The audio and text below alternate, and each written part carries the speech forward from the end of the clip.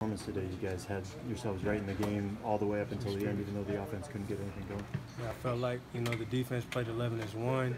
Um, you know we prepared all week um, very well, and uh, you know I'm very thankful for my defense and how they performed today.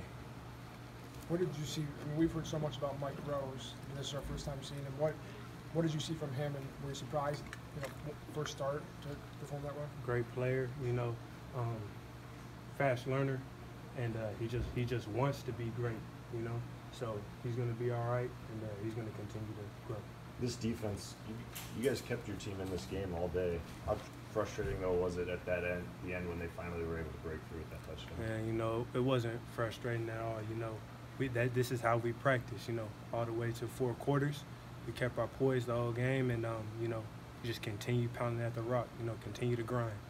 So Did You you get- feel, feel like if you could have just, it looked like you were in a position once to maybe almost pick one off, maybe a little bit, mid, could have gotten a turnover, maybe kind of turn things a little bit, momentum-wise? um, you know, uh, woulda, coulda, shoulda. You know, but Yeah. it's in the past now. We're in the you know we're in the present. On to the next. What's this defense have to do to improve, in your opinion, week one to week two? Mm, We just have to go back, watch film, look at our mistakes, and just grow from that. You know, continue to play together. Coach talks about this is